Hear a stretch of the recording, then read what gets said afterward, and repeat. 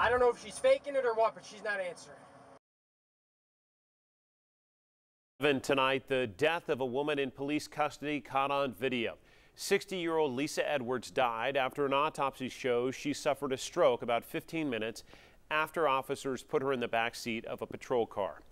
A warning tonight parts of this video may be too graphic for younger viewers. Prosecutors did clear all of the officers involved for their actions, but tonight, reporter Caitlin Keenahan spoke to the family of the woman who died in police custody, and they still have questions. Police got a call for trespassing at Fort Sanders Regional Medical Center. They want you to leave their property, ma'am. I can't walk. Oh, why can't you walk? I have a stroke on my left side. Family members say Lisa Edwards has not walked since 2019.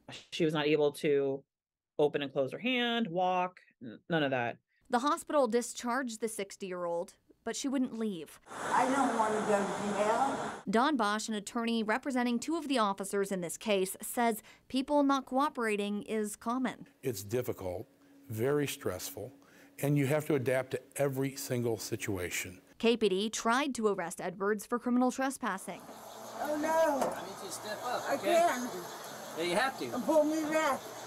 That's when the commentary took a turn. I can't pick her up because she's dead weight. She's not Yeah. using her damn Yeah. legs. I'm tired of this dead weight crap. Because this is all an act. Edwards' son and daughter in law watched the video. She shouldn't be treated like that. Nobody should be treated like that. Um, they wouldn't treat their mom like that. So why would you treat my mom like that? But Bosch says it's complicated. I can see honestly how there may be folks that, that could be troubled by it, uh, but they believed that they had a medically stable individual.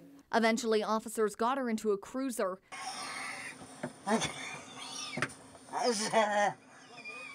Then the breathing stopped. When the officer checked the back 15 minutes later, he found Edwards unconscious. I don't know if she's faking it or what, but she's not answering. EMTs took Edwards back to the hospital where she was declared dead in Knoxville. Caitlin Keenahan. Again, the family of the woman who died want to see a change in police policies, and they're considering a lawsuit in this case. As of tonight, the four officers involved remain on paid administrative leave, and Internal Affairs is also looking into that case.